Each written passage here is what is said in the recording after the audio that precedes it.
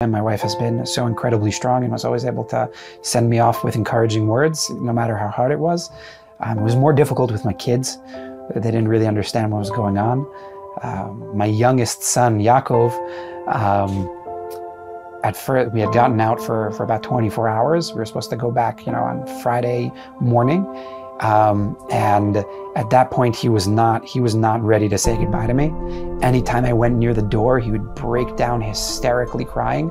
No, Abba, don't go. I'm getting my shoes. I come with you. Uh, don't go. And like, I wasn't even leaving. I was just went near the door, and it was tearing my heart out. Welcome back to another episode of Inspiration for the Nation. And since October 7th, everyone's been wondering what in the world is going on in Israel, what exactly is going on in Gaza. And that's exactly why we are speaking to two incredible soldiers that uh, just recently were in Gaza. One of them is actually going back in a few hours and hearing their background and also seeing the Yad Hashem, seeing the hand of God in Gaza, as well as the painful moments that we can't ignore and what is giving them strength. This episode is in memory of Shevin David ben Yaakov Shlema, as well as Miriam Sarah Bas Yaakov Moshe.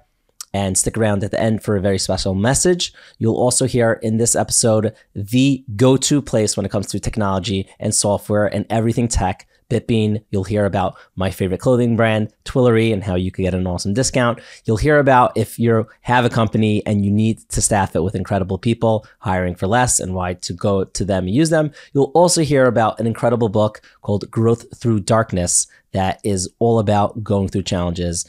And here is my conversation with Noam and Shlomo.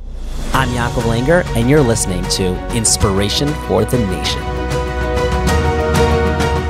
Thank you, Noam White and Shlomo Rayman, for taking time out of your extremely busy schedules. Uh, I know, Shlomo, you're going back into Gaza Tomorrow, in yeah. less than 24 hours from now. Thank you for having Yeah, us. okay. So I would love to, I would love to hear a little background about each of you, and then your experience on October 7th, and then right after that, I want to get right into it. What you actually saw in Gaza and are seeing in Gaza. Um, my name is Noam White, originally born and raised in uh, New Rochelle, New York. I made Aliyah in 2010 after my Shana Aleph. Uh, been here ever since. I drafted into the Army in 2012 into a Special Forces unit which specializes in explosives, served as a, as a sniper, and I've been serving in Miluim in reserves with the same group that I trained with um, for the past, since then. So almost 13, year, 13 years we've been together now. Um, so on October 7th, uh, my family and I, my wife and our three kids, we were by our in-laws, my in-laws in Efrat. And uh, we were in, I was in Shul. And at about 8.15 in the morning, the Kitat Konanut, the emergency readiness team of the community came in and made an announcement that there's some kind of terrorist activity going on in the south and there are lots of rockets being fired to make, and then that we should go home and make sure that our families are aware and that they're near the bomb shelter. So I walk home a little bit, you know, worried, not quite sure what's going on, and get home and make sure everybody knows my wife is still sleeping with my daughter. Um, and so I decided not to wake them up because you never know. Like Efrat is not really in the the normal areas that that they shoot rockets to. And about nine o'clock or so, uh, we get a we get a siren, and I go upstairs to to wake her up, carry my my daughter downstairs. They're you know bewildered, not not sure what's going on, and we go down to the to the bomb shelter. Um, before I close the door, at that point I was more worried of about what's going on, so I go to get my phone because I'm an active service of the, the reserves, and um, if something that big was going on that they're making an announcement in Shul, I should probably have my phone on me, and I um, turn on my phone at that point and start coming the, the whatsapps from our commander start coming in to to be ready to uh, come down to base if they need.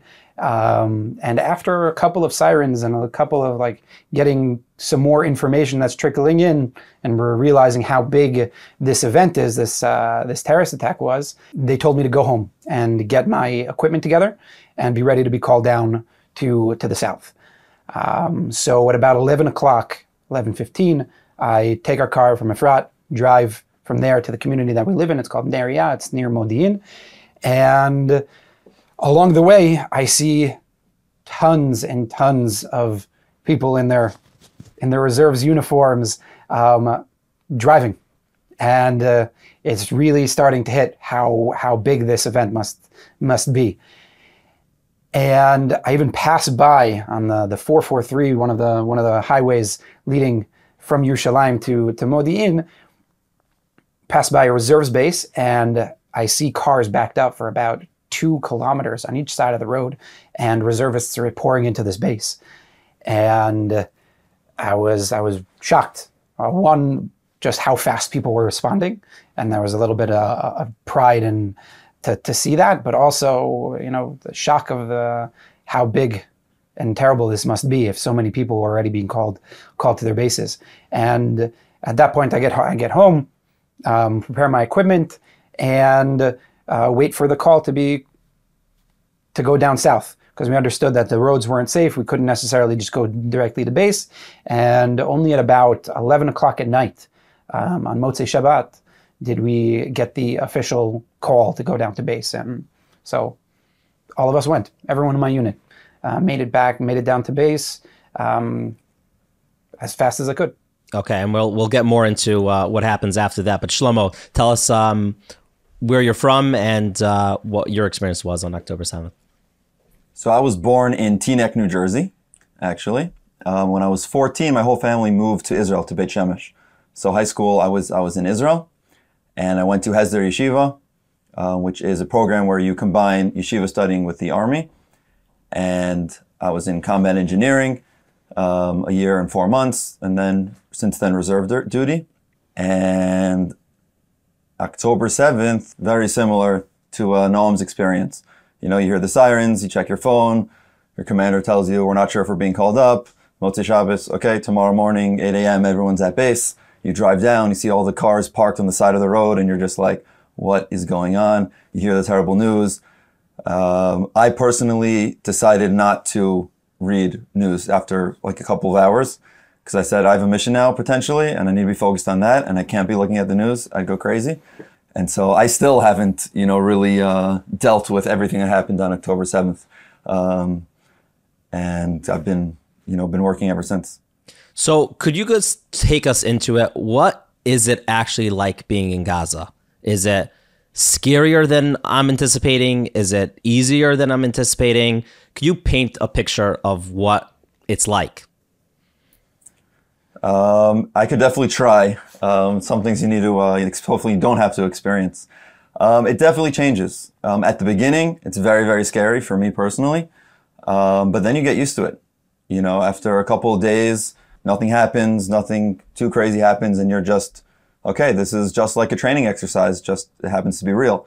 You even start calling your misimote, your missions, you call them, uh, you call them training exercises by accident.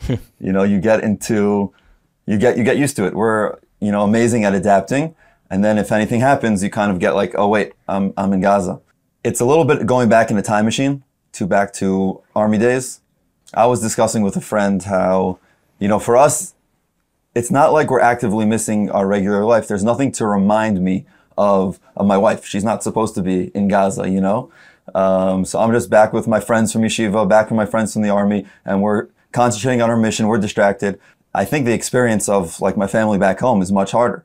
They're in regular life, and then oh, where's where's my husband? Where's Shlomo? He's not here. Where's my partner? You know, and they're um, so I think they're the real heroes, and that's an experience definitely worth uh, checking out. Um, and they're always on the news. They're like they he- hearing all the bad news. news. We don't yeah. we don't have our phones. We don't we don't we're disconnected from everything. We don't know what's going on other than what's right near you. Though being disconnected from phones is is definitely an experience. Um, probably more jaunting than Gaza is not having your phone on you for two weeks. Um, people people can't handle it. Um, but then there's also things you never expected. You know, you're sleeping on a random mattress that you found. Um, suddenly you find yourself doing things you've never done before. Um, Noam, how about you? What what has your experience in Gaza been like? Um, I guess pretty pretty similar. Um, there are certain aspects which were scarier than I expected, and certain aspects which were much more chill and much more, you know, of a light-hearted um, experience than than I would have expected. I guess like you know when we first walked into Gaza, my unit we didn't have any uh, armored personnel carriers or APCs, Um, so we walked in with all of our gear on our back. Uh, you know, I had about 50 kilos, so that's like 100 plus pounds on my back. Walking in, we walked for about eight kilometers, eight, 10 kilometers in. And as you're getting closer to the border, the explosions of like the, the cover fire, artillery fire, airstrikes, uh, mortars, tanks, machine gun fire just keeps on getting louder. You couldn't go three seconds without cast, hearing a massive explosion. And uh, as we're walking in, it you smell the smoke and the sulfur and like the at that point they'd been bombing for like three weeks. So like there was the the smell of like rotting flesh, and like it really felt and looked. Um, sorry for, for those who don't get this analogy. It felt like Frodo walking into Mordor. Um, uh, the Lord of the Rings geek, um, walking it like walking into Gehenna, and we walk in, and every it's pitch black other than the fires and the explosions, and you are you're really really sh- high strung at that point. You're you know ready for anything for a terrorist to pop out of a, a tunnel at any point, and we started walking through a, a lemon orchard, and um, it's a very dangerous area to fight because you can't see anything. You can't see anything in front of you. And so the bulldozers had bulldozed a path through through for us to walk through, and it smelled it smelled like like lemons. The the the smell just completely changed. It was like all all of a sudden just like whoa, such a citrusy smell. And I immediately was reminded of uh, Yosef getting sold down to to Egypt when it, the, the Torah says that um, the Yishmaelim uh, brought him uh, brought him down to Egypt, and they were carrying spices, good smelling spices. Rashi asks, like, why does it, why does it mention the spices? And so he says, because to, to show how Hakadosh Baruch Hu like takes care of the tzaddikim, shows his shows his presence to the tzaddikim. And I immediately felt, okay, I'm like Yosef going down to the the, the, the trials and tribulations of Mitzrayim, but Hashem Hashem is with us.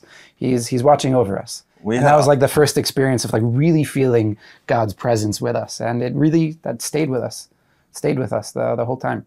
We, we had olive orchard orchards, and those don't have a smell. so I guess I'm less of a tzaddik. Um. What can we do? Uh, but the going in, the experience, he reminded me, we weren't supposed to go into Gaza originally. We were told the first three weeks of training that our job is to go, blow a hole in the fence so that other soldiers can go in and go back, and that's it, and we're done. Um, that plan changed like 10 minutes before the actual mission. They're like, actually, never mind, you guys are going in. And so a 12 hour mission turned into a 12 day mission and that was really hard because we had no time to prepare mentally. We didn't tell our families, oh. um, and we had no idea how they were handling it at home. That was really really difficult. Um, guys were saying that like when 12 days are up and we're we're take our little break, guys were saying that they weren't coming back. Um, it was it was very very hard mentally. The um, you know the it's scary. Um, it's something you're not expected ever to find yourself in a situation like that. You usually run away from danger, not not into it. But everyone came back, um, and what did it for me was going home that Shabbat and seeing all the families at shul when they davened, kids playing in the park, and you're reminded of wait a second, what are we fighting for? You know, we're fighting for these families to be safe. There are people that can't go to shul, all the hostages that they can't play with their family and they need us there in, in Gaza. So even though the beginning mentally was so difficult, everyone came back for, for a second round and a third round and fourth and fifth round. And it got easier as, as you go in, like we got used to it. That's what I was talking about beforehand. Um, but going in just mentally, it's some, it's, you're, no one's ready for that. There's no way to train for that.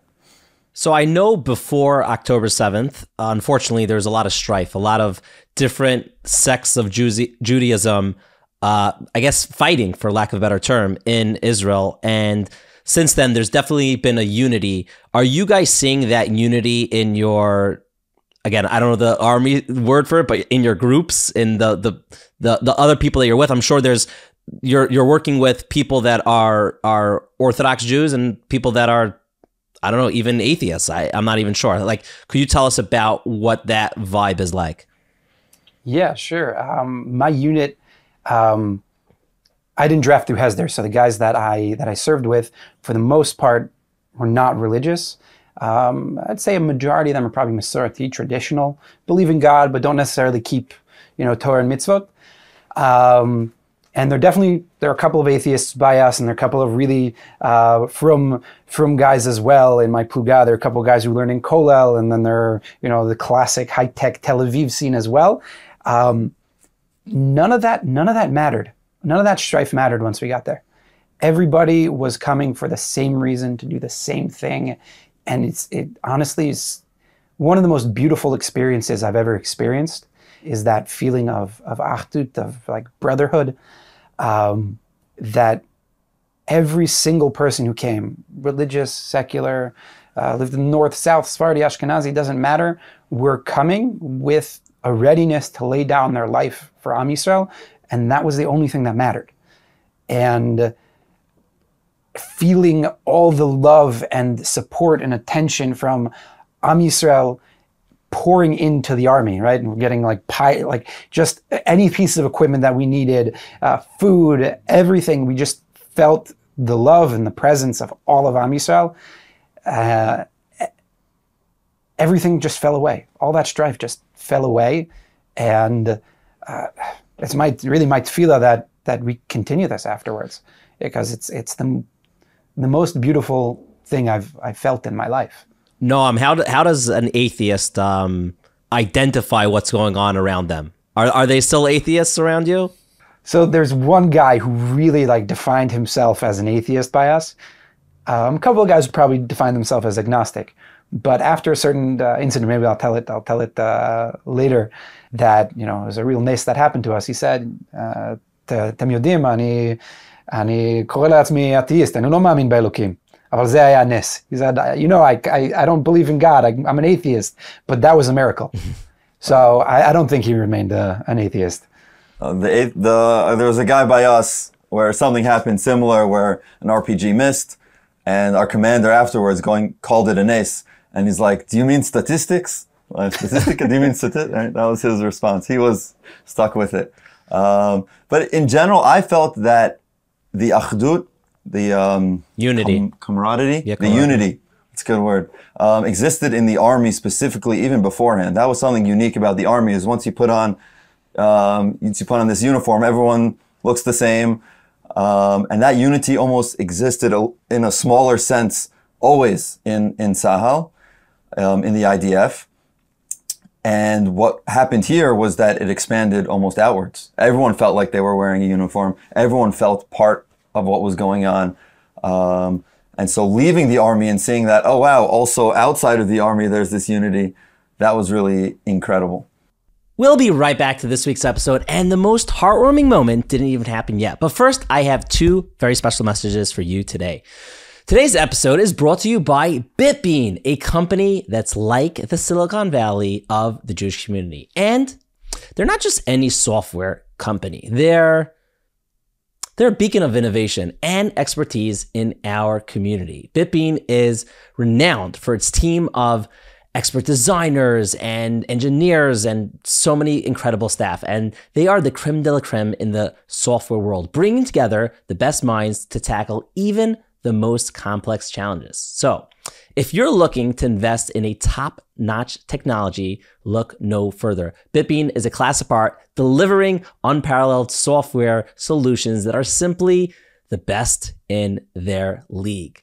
And personally, what I think makes Bitbean truly special is their deep connection with our community. They don't just speak tech, they speak your language. For years, Bitbean has been collaborating with top companies in our community and honestly the world, solving complex issues across all industries. They understand the unique challenges we face and offer innovative technology solutions that drive success. And their track record speaks for itself. So Bitbean has helped numerous organizations and companies like Torah Anytime, Riverside Abstract, um, Eastern Union, Chabad on Campus, Chasdei Lev, and many more. and they help them develop powerful and enterprise grade solutions. These collaborations have not only solved problems, but also have propelled these organizations and companies to new heights. So if you're looking to transform your business with cutting edge technology, BitBean is your go to partner. Check them out at bitbean.com and see how they can help your business not just survive, but thrive in this digital age. Now, I also have to say, this is nothing I, I spoke about with them. They are awesome people. I've dealt with them for now a few weeks and I've seen firsthand how they operate. I think whenever you hire a company to help your company, you want their services to be great. But something I think people overlook is who are the people behind it. They are very intelligent and also very yashar and kind. And I think that's what makes them so successful at what they do. They're smart and they're nice. And that's something that helps grow companies when you bring on people like that to help you with any technology needs. So go ahead, software, tech, anything, anything tech related, go to them. Uh, you could see a lot more on their website. So go and check them out. Now we're going to be right back this week's episode, but first I need to tell you about how I am changing my life. Yeah, it's it's a little of a silly way, but it's working. So I've been talking about Twillory for a while now, and they wanted to send me some samples of some clothes because they noticed a pattern that I'm always getting these button down shirts and the classic stretchy pants, which are all awesome, and the suits. And they're like, Yaakov, you haven't tried out our our long sleeve polo. And I'm like, hey guys, it's Twillory. I'm not really a long sleeve polo type of guy. I ordered it two things have happened. First of all, I am not a strong person. This shirt makes me look like I go to the gym, which I do not. Um, I, I look I look strong in this. I, I, really do. Not as strong as an IDF soldier, but um, that is one thing. How I look great in it. I, of course, I feel good in this like stretchy, awesome material. Uh, but more than that, my wife saw me in it, and she's like, "You look great." And um, I, I, she's awesome. I don't get many compliments with the clothing choices that I choose. Maybe because I'm like a weird dresser, but um, it's rare that I've gotten something like that. And my wife approves. And if if Gita Langer approves of Twillory, you need not go to any other clothing place. So go ahead and go to Twillory.com. You'll get $18 off. Yes, you listeners of Inspiration for the Nation or watchers, you're going to get off $18 when you spend $139 when you're a new customer with the code word INSPIRE little cheesy, but it works. So go ahead, check out Twillory, whether you're looking for awesome long sleeve polos, even if you're not a long sleeve polo guy, but maybe you will be, or short sleeve polos, or button downs, or the most incredible pants in the world, or the most comfy suits ever, or scarves, or whatever it is that they have, because they have so much. Twillory.com, you will not regret it. Now back to this week's episode. Okay, so we, we don't we don't have an unlimited amount of time here. So I definitely want to hear a story or two from each of you about your experience there. It could be a story that's uplifting us. Maybe maybe it's a sad story, story of someone who you lost. Whatever it is, uh, here's your platform to share with us a story. Okay, so a story I want to share is actually a very tough story. Um, it was the day before Hanukkah, and that morning, meaning that later that night, we were supposed to light Hanukkah candles one of the soldiers in our platoon was was killed was killed by a sniper. And that was really really tough. It was also the first um, casualty that we had. And we were all you know broken. And how do you go from that to lighting hanukkah candles four or five six hours later? And we're gathered inside the the house. We were a house that we were located in at the time. And if, obviously, you light inside, you lighting outside will give away your position. And it hit me that, you know, this is a huge discussion about where to light Hanukkah candles in general. In the beginning, we would, the original mitzvah was to light outside. And at a certain point in history, it was moved to lighting Hanukkah candles inside on your table because it was too dangerous to light outside. And I'm like, I'm not the first one to go from tragedy to lighting Hanukkah candles. Like this is the Jewish story: is that we we get up after uh, after tragedies and we keep going. And an idea came to me. I'm pretty sure I heard it before, uh, but I shared it with with the fellow soldiers there. That the first night of Hanukkah, it's not clear what we're celebrating. This is uh, similar to a famous question by the Beit Yosef. Um, really, the miracle you know, the candle was supposed to last one night. It lasted eight nights. So only the second night of Hanukkah was there even a miracle, right? The second night, the, the, the oil lasted longer than it was supposed to. So what are we even celebrating on the first night? And the idea that we all felt that night was the fact that after everything the Jews been through and the Beis Hamikdash was all destroyed, they went and and got up and they kept searching for oil in the first place. You know, how many nations went through tragedies and just gave up and decided that's it, no more. And we're like, no, we're not giving up. And we searched for that oil and we found that oil and we kept on going. And to me, that's a greater miracle we're celebrating than oil lasting longer than it's supposed to. That we're still here after everything that happened, after years and years of people lighting Hanukkah candles, hiding inside their houses.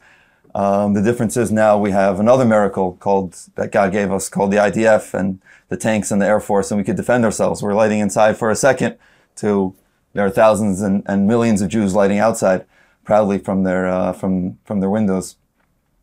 So for me, that was the greatest miracle that we were able to continue after after what we've been through. Really beautiful. Okay, Noam, turning to you and, and Shlomo, don't worry, we could get back to you with more stories, but let's give Noam a chance here. I have so many stories, but uh, I guess the, the the biggest miracle that happened to us, um, we were supposed to go on a mission on uh, one Shabbat afternoon at about 3:30 p.m.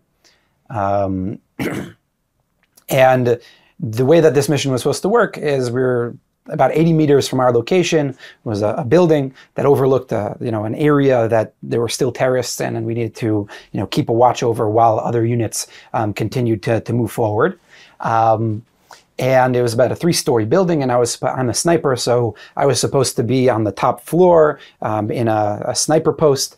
And the rest of the guys in my unit were supposed to be the floor below with a machine gun post, and then like a room behind it, more a safer room. They were supposed to. That was where everybody would sleep over the next 24 hours, eat, you know, relax um, when they're not on on guard duty. And so about 3:28 p.m. we were in formation on equipment, ready to go. We get on the radio, ask our company commander uh, for permission to leave. And he says, uh, one second, I'll, let me get right back to you. And a minute later, he gets on and he says, um, We're pushing it off by an hour. We're like, Okay, this happens. Army, things get pushed off all the time. We go back upstairs, start relaxing again. Um, and about seven, eight minutes later, we hear three, four, five uh, explosions which in Gaza in war is not surprising. You don't get you don't get phased by explosions anymore after like the the the first week, and uh, um, so we weren't phased by that. Then all of a sudden you hear um, AK-47, PK fire, um, and you can tell the difference between an AK-47 and uh, and our guns.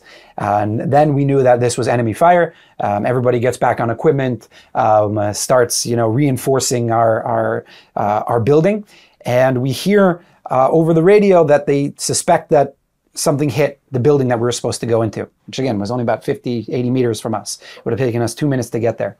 And um, so we push off this mission for another couple of hours until complete darkness falls. And under the cover of tank fire, we go into this building to check to see if it's still usable, if it was actually hit. Um, and we go into the building and we see um, that my exactly where I would have been was hit by an RPG. Um, another area in that same room was hit by an RPG.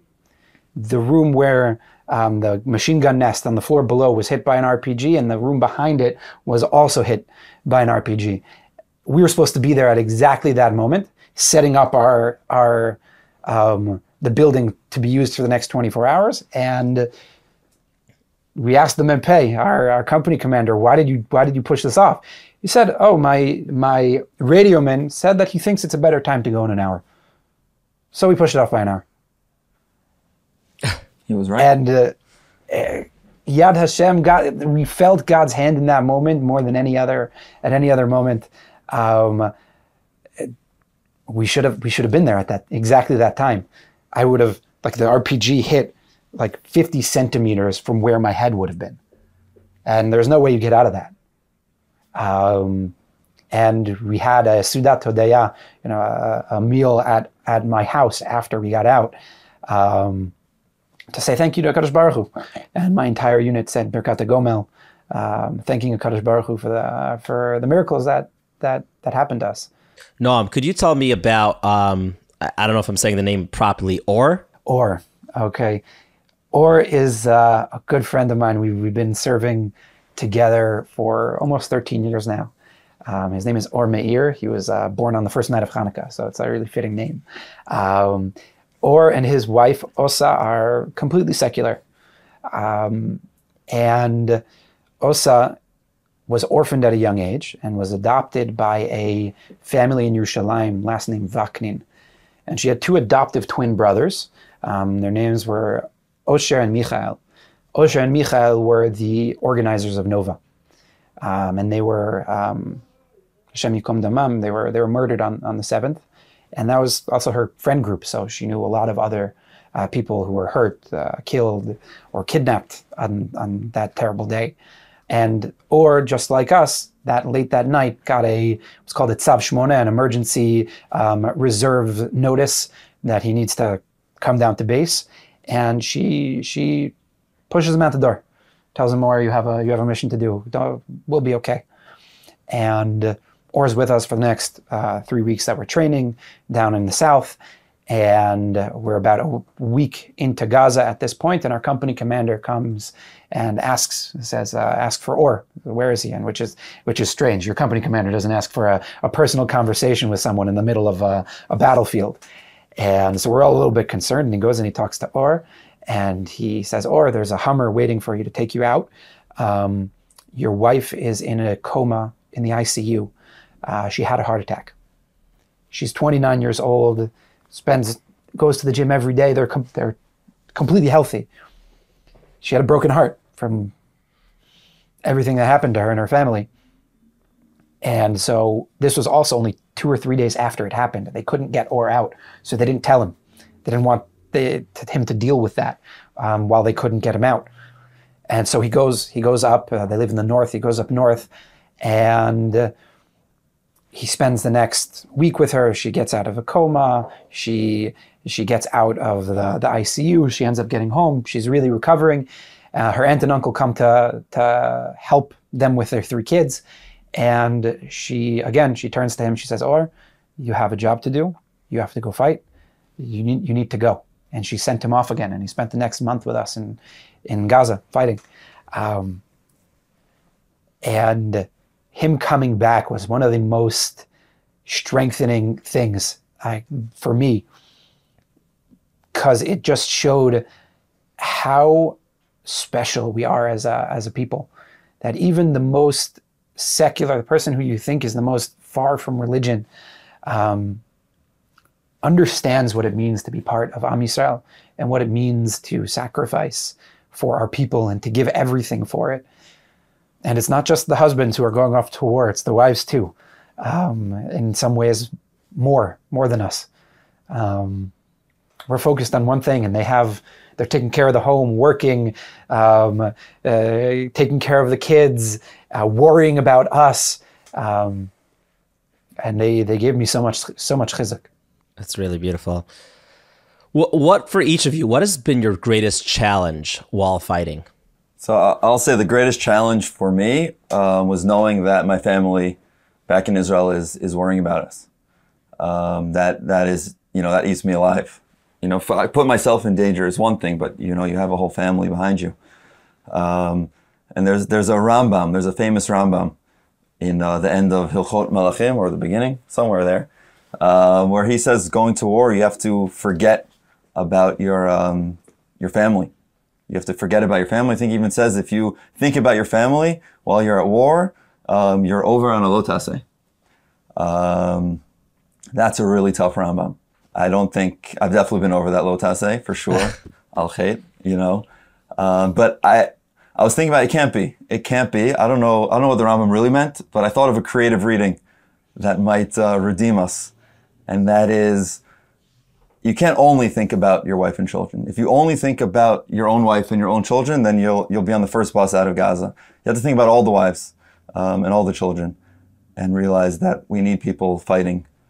Bnei Israel needs needs you know needs a shomrim, and and maybe that's what he meant. If you only think about your own wife and and, and children, then uh, you're over on the lo ta'aseh.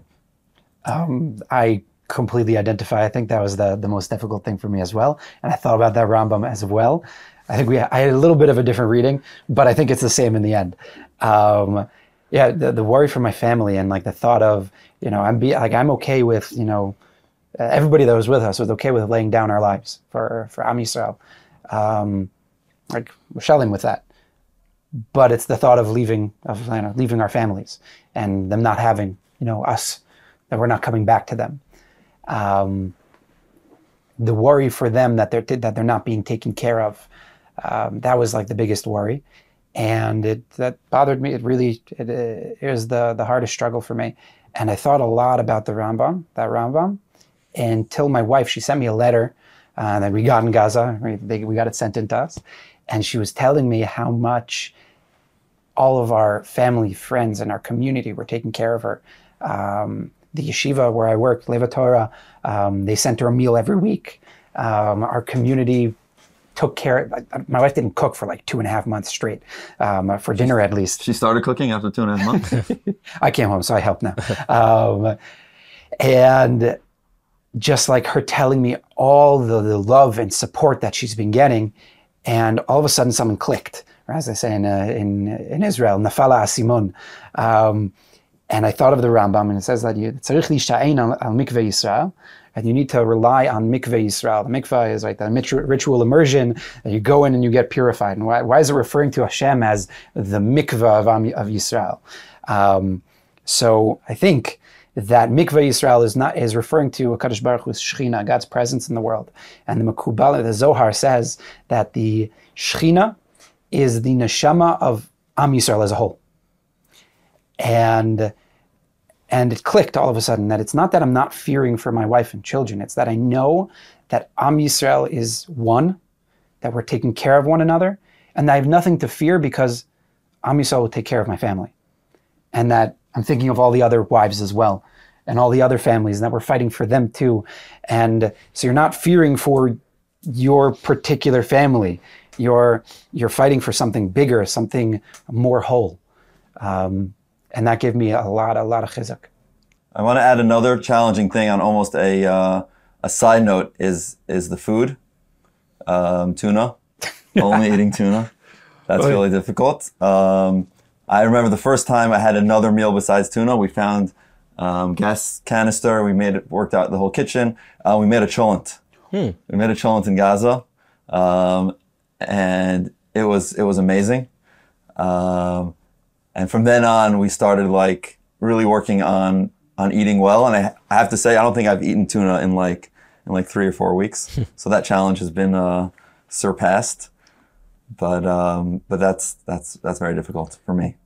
Um, Am Yisrael really sent us a lot of food in Gaza. There were there were nights where we got like hamburgers still hot um, we were the most northern like community um, in Gaza. It's called Beit Hanun. So it was a little bit lo- logistically easier to get us food. And uh, the first time we got like real home cooked food, we got uh, they were just simple deli sandwiches. And I remember that was like the most delicious deli sandwich I've ever eaten because uh, yeah, tuna, whew, you get sick of it pretty quickly. Yeah. We will be right back to this week's episode, but first I need to tell you about a book that will enhance your life. Growth Through Darkness by the wonderful Rabbi Mordechai Zev Trenk, which actually overlapped with him in Rabbi Sen's is a fantastic read. It is published by Adir Press and distributed by Feldheim. The book discusses the fact that Hashem loves us even more than we love ourselves. Yet, everyone faces challenges, right? And experiences that are difficult. And we're told that not only that our good fortune, but also our suffering is an expression of Hashem's love. How does that even work? So, this book explores that. It's exploring the life changing wisdom of our sages. Growth through darkness reveals Hashem's hidden kindness behind the difficulties we experience and how we, as Yidden can use these tests to bring forth our hidden potential. And quoting extensively from the greatest names of our illustrious history, Rabbi Trenk demonstrates how to view that very obstacle in our life and the impediments that we face as means of growth. And not only that, how we could improve our life through it. And what I personally love about this book is the extensive Lashon HaKodesh sources that you could see and like look up and delve even deeper in the book, which a lot of books these days don't have, and they do.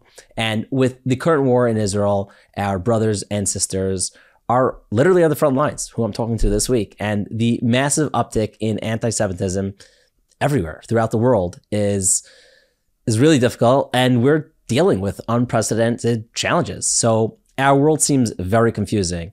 Why would Hashem, who loves us, allow these things to happen? Pretty good question. And on a communal level or a personal level, enter growth through darkness, where Rabbi Trenk sheds light on how these challenges that we're experiencing now becomes catalysts for tremendous personal growth. Again, it's not like going to be the answer, but it gives us layers. And with topics like punishments are with precision or Yisurim, which is a challenges, brings one to tefillah or Yisurim, again, challenges, uh, lead to perfect world. And there's a lot more in there. So this book is available in your local Sfarim store on Amazon and Feldheim.com. And of course, the link in the show notes. So go out and buy or order yours now. And while you're waiting for our Inspiration for the Nation listeners, you will be able, when you're waiting for the book to arrive, you will be able to get a sample. Yes, that is true. A sample of the book that is available, and it deals with the topic of growing from Yisurim, which again means challenges. So go ahead and click on the link in the show notes, and you will get a little sneak peek. And leading up to the my favorite moment of this episode, you'll hear it. But first, are you familiar with the high costs of local hiring, where hourly rates can soar between 20 to $50? And let's not forget the challenge of finding a skilled employee who's immediately available. But what if there's a more cost effective solution? Introducing hiring for less. Yes, your gateway to hiring dedicated full time remote employees from overseas for just $7 an hour, totaling only $280 a week. Imagine having an employee who works a 9 to 5 schedule aligned with your time zone, equipped with excellent English proficiency and the specific job experience you need. Hiring for Less isn't just about affordable hiring. They've successfully connected employers with remote experts in various fields, including, we're to go through a list now, customer service, uh, real estate, bookkeeping, data entry, cold calling, photo and video editing, architectural design, ecom assistance, personal secretarial work, and other specialized roles. But Hiring for Less offers more than just recruitment. They guide you through training and communication best practices, ensuring your overseas employees seamlessly integrate into your team. Plus, there are no binding contracts. Love that. Hidden fees, upfront costs, or recruitment charges. Simply outline your requirements, and hiring for less will match you with a skilled overseas professional for an unbeatable rate of $7 per hour. Plus, if you mention Living L'Chaim, you'll get a bonus free week employees for 50% off. Yes. Call, text, WhatsApp 845-682-0990 or contact them at hiringforless.com. Of course, like always, we will have the links in the show notes below.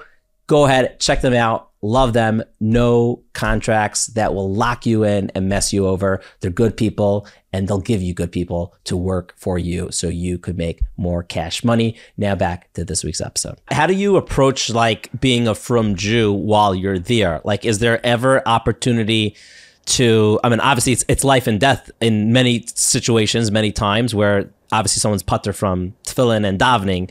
Um, are you guys able to wear tefillin? Are you able to daven? How does that work? Um, so it totally depends on the situation, on the day. For me personally, there are days where you have no time to, to learn. Um, we always had time for, for tefillin. Um, but there have been days when, you know, there's nothing to blow up for a couple hours. And then, uh, so we have time to learn. And there are about four or five rabbis in my unit and another couple that are uh, on, on their way to becoming rabbis.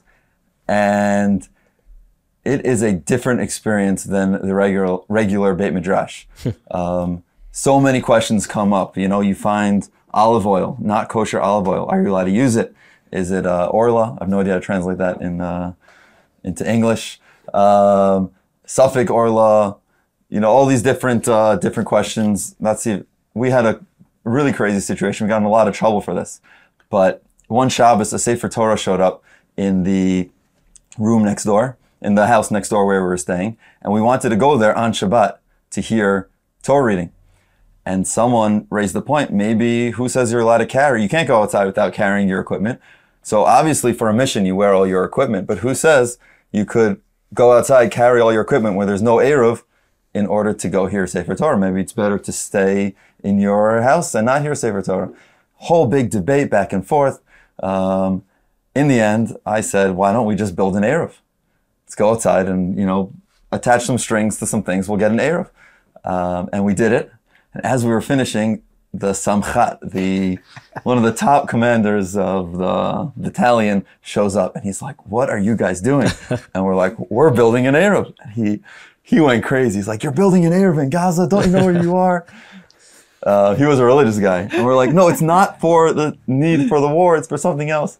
Um, yeah, he told us he was going to cut it down. He didn't cut it down, and we had our Eruv and we went to hear uh, Torah reading. Um, I actually I sent a letter to to my brother. I have a brother who's learning in Yerushalayim, and there's a famous there psukim in Yoshua and a famous Gemara where Yoshua started his war to conquer Israel, and a malach, an angel, shows up with a sword to kill him, and he asked the malach, uh, "What are you doing? Why are you killing me?" And he asks, "Halanu at, are you on our side, or Litzarain, are you against us?" And the malach very cryptically answers, uh, "Atabati, I've come now." So the Gemara says that Yeshua missed out on two mitzvot. He didn't bring a sacrifice, the daily sacrifice that day, and he didn't learn Torah that night. And he asked the Malach, which Avera, which uh, transgression, mm-hmm. is it because I didn't bring the korban or is it because I didn't learn Torah? And the Malach says back, Ata bati, I came now for your sin of not learning Torah now. And I asked my brother, I said, this doesn't make any sense. They're in the middle of a war. Even though maybe they finished fighting at night, they need a rest for tomorrow. Of course, they are potter from, from learning Torah. They don't have to learn Torah. So how could it be that they were getting punished? They were going to be killed because they didn't learn Torah in war.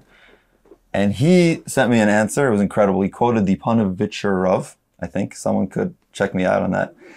That said, there's a deeper level to this story. Yoshua was asking, Halanu ata olitzarenu. What's lanu? Why does lanu mean learning Torah? Lanu is Torah tziva lanu. God commanded us to learn Torah. Torah tziva lanu Moshe. Um, and ata, the, the Malach's answer was ata bati, I came now. I came. Now ata is reference to the pasuk, ata kitvu lachem et ashira hazos. Right? Or hazot. Um, now uh, that's a pasuk in the Torah about writing writing down the Sefer Torah, writing down the Torah as a song. So he didn't answer the same as Yeshua's question. Yeshua said, I'm being punished for not learning Torah with Torah Tzivalanu Moshe, and the Malach answered, Ata kisvu lachem azos. And the answer was, of course, you're putter from Torah Tzivalanu Moshe. We don't have to go and bring a Sefer Torah into Gaza and do Kriyas Torah. Of course we're putter, right? But the, it's, we need it. It's a song. It's our, it's our life. It gives us the spirit to fight. It's why, it's why we fight. It gives us so much strength. We can't go on without learning Torah. So even though we're not commanded, we try as much as we can to uh, to learn the Torah. So that was what the letter I got back from my brother, and I said it over when we were using the Torah. I said to our fellow command, you know, soldiers, "We're crazy. We're learning, reading from the Sefer Torah in Gaza." But that's uh, Jews are, are crazy for the Torah. Mm. We do crazy things for uh, for the sake of Torah. So uh, that's just one story of of many of uh, religious experiences in uh, in Gaza? Um, so I have a little bit of like a different experience because I'm one of the only religious guys in my in my platoon. Um, my unit refers to me as the unit rabbi, so we only had one. They had five. Um, so Trust I would often it's be, easier to only have one. then you don't have machloket, yeah. right? Um, and even the most secular guy, if I was on like shmirah with him, on guard duty with him, would be asking me for divrei Torah, um, divrei chizuk. There was one night where we got back from 20 hours off in a base in Ashkelon um, after spending two weeks in Gaza. And then we went back in on Shabbos. And the commander of my unit, who's just one of the guys from our unit who got promoted to be the commander, um, is engaged and he and we were on Shmirah together. And he he looked down. He looked really down after getting back. Like I felt, I felt like I had new new strength after seeing my wife and kids for we only got to see them for like an hour and a half, but I felt renewed strength, and it was strange to me that he was, that he looked so down. So I asked him. I said, Shlomo, why, why are you so down? He said that his wife, that him and his fiance are supposed to get married on January third. They got they just got married last Wednesday, uh, Baruch Hashem, and they were about to start their Chassan and Kala classes to learn, you know, Hilchot uh, Taharat Mishpacha, the laws of family purity, which, by the way, was the first thing that we learned together in uh, in Kollel. Which you guys, I just want to Um, say, I don't know if it was said, you guys were chav- chavrusas for five years. We were Yeah. chavrusas for fi- five years in in Kollel. Yeah, cool. Um, Baruch Hashem, we spent, I think, those five years more time together than we did with our wives. Uh, It was the hardest part about Kollel. It's not being with their wife. um, and so he was, Shlomo was very upset that they weren't going to be able to prepare for their wedding properly. And like he was, he was just, they, they wouldn't, they didn't know that they would even be able to learn before their wedding. And I told him, I said, Shlomo, it's, uh, it's Yad Hashem that we're together. He's like, what, what are you talking about? I'm like, I could teach you. He's like, what? I'm like, yeah, I'm a, I'm a chassan teacher. And so for the next three weeks, uh, whenever we were on Shmirah together, and we had uh, the ability to focus on on on this, I gave him his uh, chassan classes, and that also. So really machazik, you know, living Torah while while in Gaza, and as Shlomo said also that, there's a lot of novel um, questions, halachic questions that come up, and you really experience the Torah as a Torah Chaim, as a living Torah that's adapting to your situation, um, that has an answer for every situation. Um, and to me, that that was just a a very beautiful experience of, of really feeling the Torah as a as a living Torah. No, I saw a picture of you, eh, correct me if I'm wrong, wearing tefillin as you're with the sniper gun. Does that make sense? Is there a story behind yes yeah so um, it's a little bit of a short like a shorter story um, basically when i set up a sniper post I, I can't be at it for 24 hours so other guys take over for me when i need a rest um, to like use binoculars and look and search out and see if there are any targets um, so uh, I was in the middle of davening. I had my tefillin on, and one of the guys who was who was uh, at the post um, saw movement from a building, and uh, so he called me over. I didn't have time to take off my tefillin, and so I go, I get into the into position, put the the the gun in my you know shoulder, put started searching for for this target, and I was searching for it with my tefillin on for about about an hour. Didn't didn't see any movement. Uh, ended up you know being able to hand it back to him so I could finish davening. Um, but before I before I left, I thought it was uh, you know uh, a good picture to take. Uh, so one of the guys in the in the unit took a picture for me of uh, in the you know while doing doing what we do uh, with my tefillin on. Really amazing. Okay, there's there's so many more questions that I have for you guys, but we definitely need to wrap up soon. Wh- What do you say? I meant I'm definitely seeing. I'm not at the forefront of the real battle that you guys are on, but we're definitely you know seeing so many haters online. I don't even know if they understand what's going on with the war, or they're just like, "Oh, Jews, let's hate on them." What what would you, for, based on like what you're seeing in Gaza, what would you say to someone who's like an average American who's like by college campus and they're like, oh yeah, uh, poor Palestinians and the Jews are the evil ones here. What what would you say to them? we we had uh, received a mission to uh, ra- like our our dude, so our our battalion um, had received a mission to raid a uh, UN school, uh, UNRWA school, um, that was being used as a Hamas command uh, center, and. Uh, um, unfortunately, during that mission, uh, one of the members of our pluga, Raz Abu Lafia Hashem Yikom Damo, was uh, was killed. Um, and we raided this school. I was on. I wasn't part of the mission that, that the part of the mission that went into the school, but our unit found um, in this the school, right, where little kids come and learn every single day, a command center for Hamas, where um, they planned where their, their attacks from, from where they um, um, directed rocket fire into Israel from, um, and they found evidence in that in this school that the that at the beginning um, many of the hostages were being held prisoner there, the use, the cynical use of civilian uh, infrastructure for the most horrible things you could imagine um, is something you just can't ignore. And if you ignore it, then you're just choosing to be blind to the to, to the horrors of, of the world that we live in. Um, to, uh, for me, to, to see a school being used for, for, for terrorism, for murder and massacring civilians is, I, I still almost can't believe it myself. Um, you just need to open your eyes to reality.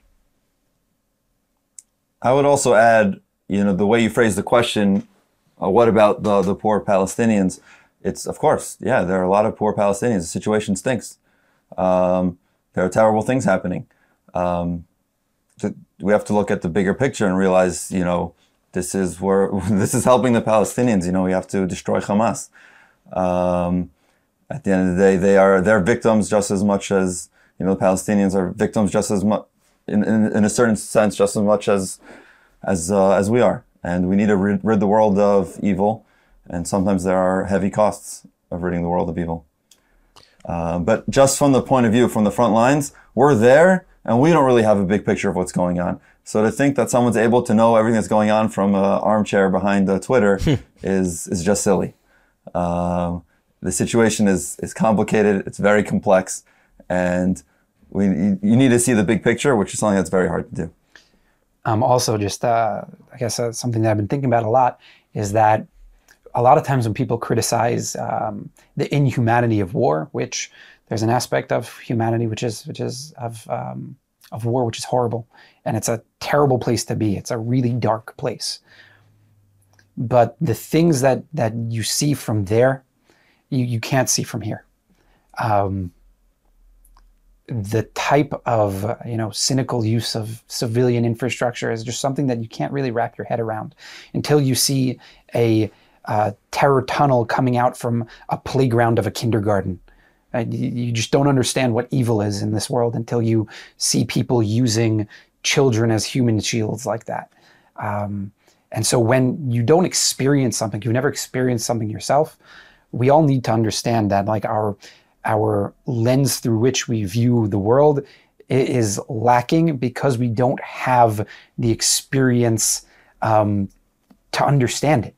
So when we're sitting behind the computer, we need to have a little bit of modesty and say, like, I don't understand what warfare is. I've never had to face terrorism. Very well said.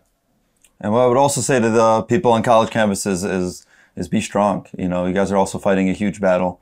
I can't imagine what's that what, what that's like uh, without experiencing it. Um, so thank you for for fighting on that front. Yeah. Very well said.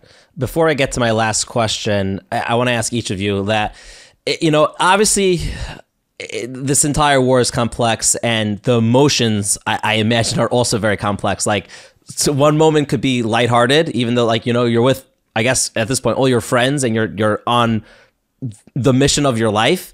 Um, and then it could get very serious very quickly. What's the, what's the, when you're saying goodbye to your wife, and your family process like each time that you like you come back and you have to go back in there what's that experience like Ooh, it's always hard it's yeah. always really really hard um, it, it, a lot depends on you know on your wife uh, if your wife is able to say goodbye with you know obviously tears in her eyes but with a smile and encouraging it makes things so much easier and there are some guys who uh, i know that when they came back it was much more difficult for their wives to do that, and it was, and they came back with much more emotional baggage. I, Baruch Hashem, my wife has been so incredibly strong and was always able to send me off with encouraging words, no matter how hard it was. Um, it was more difficult with my kids; they didn't really understand what was going on. Um, my youngest son, Yaakov, um, at first we had gotten out for for about 24 hours. We were supposed to go back, you know, on Friday morning, um, and at that point he was not he was not ready to say goodbye to me. Anytime i went near the door he would break down hysterically crying no abba don't go. I'm getting my shoes. I come with you. I, don't go. And like i wasn't even leaving. I was just went near the door and it was tearing my heart out Um, and then we got uh, the news that we could stay out for Shabbat. And by the time I had to leave Motzei Shabbos, um, he was he was able to say goodbye with me, like with a hug, without crying, and that made uh, such a world of difference to me to to not have to say goodbye in tears. Um, yeah, I got emotional thinking about it. It's a one of the. I think that for me that was the hardest part of of this experience. Um, saying goodbye, not knowing if you know you'd come back. You're able to say that. You know, we just we just pretend that uh, everything's going to be fine. You know, um, but yeah, saying goodbye is not is not easy. Um, I think it's still worth it to go home. Some people are like, it's easier just to stay in the army. I think those people are crazy. Uh, if they're giving you a chance to go home, you go home. But yeah, saying goodbye is is not something that's uh, that's easy ever. But especially go, going off to war. This whole war has been balancing contradictory emotions. You know, going from the story I told about Hanukkah. You know, going from light to darkness, going from being with the family to not being with family, going to joking around with friends to going on a mission uh, but life's like that, you know, living with uh, contradictions and focusing on what's at hand and being able to compartmentalize different different emotions. And yeah, we're gonna need therapy afterwards. I think without war, everyone needs therapy, but uh, I especially yes. now I, I can understand that.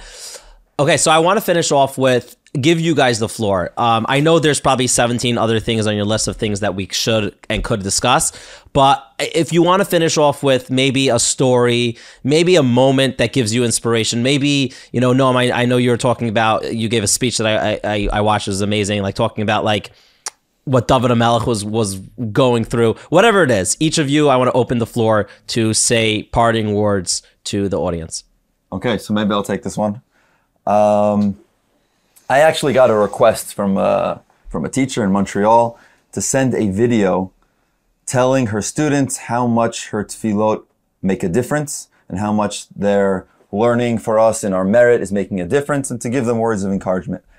And I was a little torn about how to do that because um, the effect of the tefillot, it's not up to me. That's a question for God.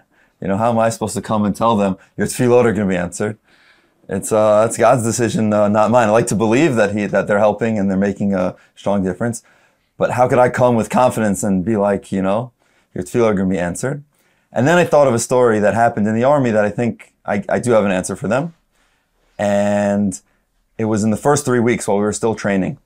And we got a delivery of delicious hamburgers. And I'm not talking about, you know, regular, these are the fancy ones with the toothpick down the middle you know, top quality, each one handcrafted. When they arrived, we were out on a training exercise off base. And we came back really late at night. No one saw them. We all went straight to sleep. And we woke up in the morning to these piles of the most amazingly spoiled hamburgers Aww. and they were thrown out. And like, it was tough. But then what we realized was seeing that those boxes of hamburgers was like getting a huge long distance hug from whoever sent them. And that feeling of, hey, we're behind you, we support you, was much better than any hamburger could actually taste. So what's happening in Shemayim with the tefillot, I'll leave that for God to answer. But I want everyone to know, whoever's davening for us, doing things for us, we know that you're davening for us. And down here, it's definitely 100% making a difference. It's what gives us strength to keep fighting. So keep davening, keep sending whatever support you can. And thank you. Um, so much, so much to say. Um, a small point on, on, what you said, I guess, uh, feed off of that. If Kook writes that uh, the um, the way in which tefillot, like the reason why HaKadosh Baruch Hu answers our tefillot for others, is when we identify with them, when we have achdut with them. So when the more you feel that achdut towards the person that you're davening for, or that you feel it from the person that you're receiving it from, the more he says that you know our tefillot are answered. So uh, I felt that, you know, with uh, all the achdut uh, coming in, that feeling of, you know, not being just, you know, uh, an individual, but being part of Am Yisrael, um, and what that really means, um, and just identifying with the the klal, but um, also going when when in Gaza, you're not really able to learn, right? You're maybe able to have like Torah discussions with with other people um, if you have the presence of mind. But um, for the most part, like what I would do in terms of learning, I had a Mesilat Yesharim on me, and I had a Tehillim. So I said I said a lot of Tehillim, and I really, you know, David HaMelech was the the warrior king, the the warrior poet, um, and I felt a lot of uh, identified a lot with with David HaMelech, and um, David HaMelech writes, "Kam lo Even when I when I walk in the shadow of the valley of death, I won't fear any evil. Ki for for you are with me. And going into Gaza, you feel like, like you're in the gates of mavet, that you're in the valley of the shadow of death, and um, it couldn't be a darker place than that. There's nothing more fitting to that line. And I really identified with David HaMelech in him saying that. And but later in the perek, he says something that I that it took me a while to to figure out and understand. He says, that only good and and kindness have run after me my uh, all the days of my life. It's like David Melech, you're, you're saying that as you go into the, the, shadow of the valley of death, as you go into the gates of Mavet, you're chased by Shaul HaMelech and by your son Avshalom. How can you say I've only been, you know, chased by good and kindness all the days of my life? And I really struggled with that, you know. On the one hand, identifying with David Melech, on the other hand, it's like David Melech, I don't get you. Um, and I, through all the experiences of really feeling Hakadosh Baruch Hu like with us there in Gaza, I, I realized that that David Melech isn't coming to say that um, there's no such thing as dark times. God's always there. Always be happy. He's he's saying that even in those dark times, God is there, hidden, and everything is eventually good for the ultimate good. And you just have to train yourself to see him in the darkness. Um, that he's matzitz min as it says in the Shir Hashirim, that he's peering through the cracks. That it, that there, you know, there's a famous uh, song, uh, tefillah, that um, afilu. That even the the, the God hiding within His hiding place, even there Hashem is found. Even in the darkest of places he is found. And I felt it's uh, not Gamsham, I think it's Dafkasham. That's where you can find God the most. Um, and we just have to train ourselves how to how to see him in the darkness. Okay, I just gotta ask: Is there any thank you shout outs that either of you want to give to whoever you want to give it to? Sure, I'll start out. First of all, to my wife Eliza, she's been amazing. To my parents, who've been so so supportive and helping. Um, a big shout out to Beef Up Our Boys. They're a organization that uh, sends beef jerky to soldiers. A so you don't have to eat tuna. Out, so you don't have to eat tuna. Thank you. Uh, big shout out to Young Israel of Riverdale. I had cousins there that sent us a lot of support. to my family in Passaic. Um, thank you. You've been uh, incredible. And to everyone else sending support to whoever gets it. You know, and all those unnamed packages we get as well. Yeah, um, uh, gotta. I agree with all of that. Uh, thank you to my wife Elisheva for being the most supportive um, of everything that we've been doing. Um, to both of our parents for all of the you know support and equipment that they helped get for us. My wife's uncle also sponsored some equipment that we needed in in Gaza. Uncle Sam, thank you.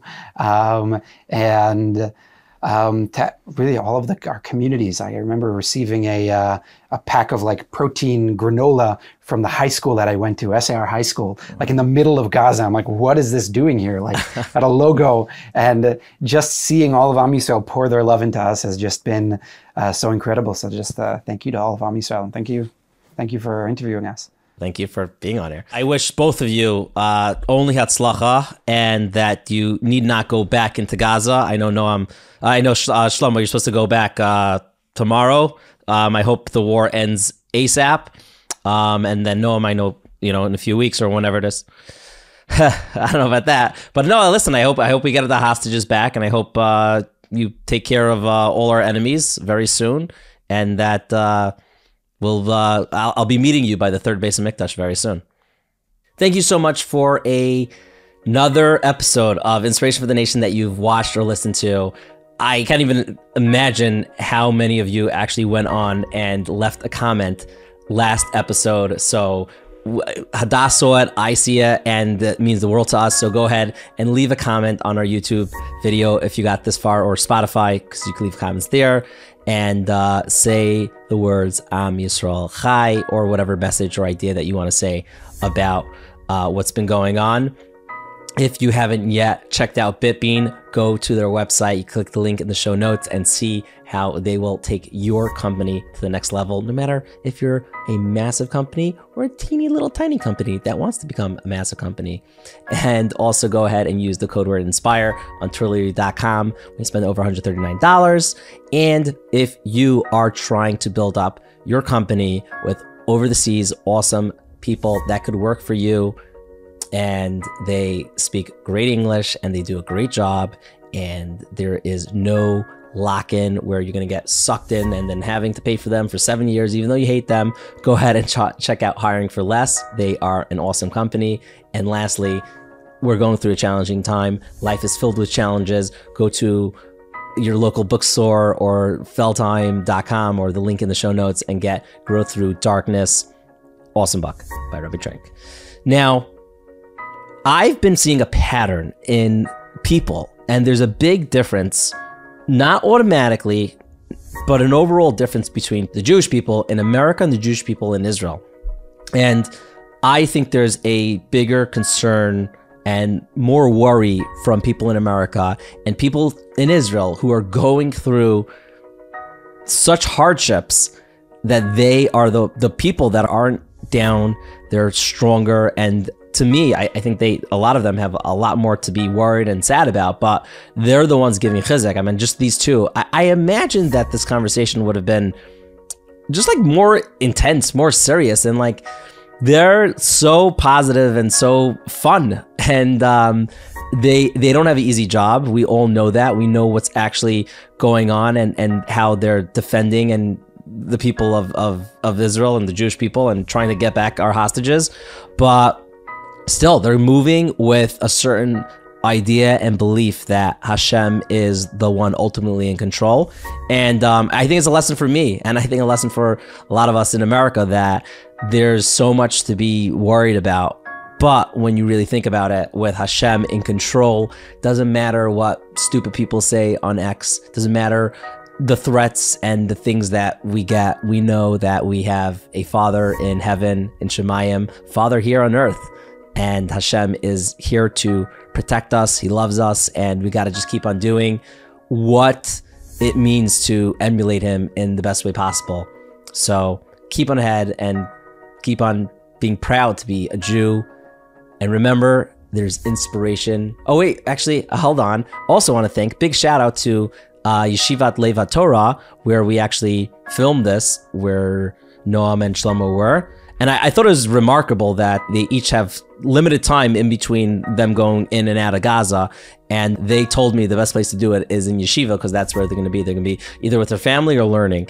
And it's like, I'm in America and, you know, I, am part of Kinyan Masechta. I'm very proud of it. And then I daven. And there's times I miss. And it's like, how could I miss if these guys are like literally giving their entire life to go and fight for us and then whenever they have time, they go and learn Torah. It's really remarkable. So what I was saying was there's inspiration everywhere. L'chaim. Living L'chaim.